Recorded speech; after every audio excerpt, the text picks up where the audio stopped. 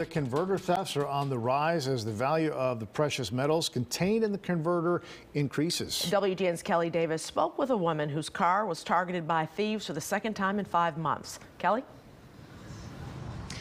Ray and Micah, Nancy Rodriguez is sharing her story with us yet again in hopes of preventing this type of theft from happening to others. She says she recently moved here to Logan Square from Humboldt Park thinking her car would be safer, but unfortunately that did not prove to be the case.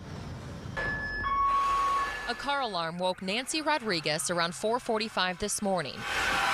This was the scene outside her house. They were so bold that they don't care that it's going off and that I actually see them. She says a man was cutting a catalytic converter out from underneath her Toyota Prius as another guy stood guard.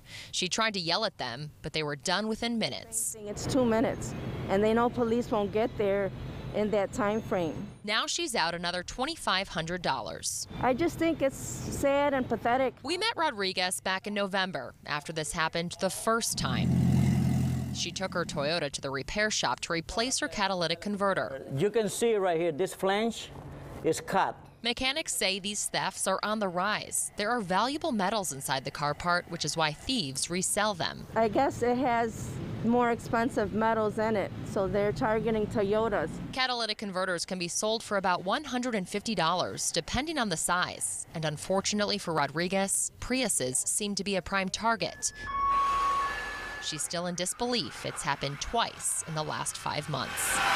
Frustration, sadness, um, pityness for these criminals because they're they're not going in the right direction.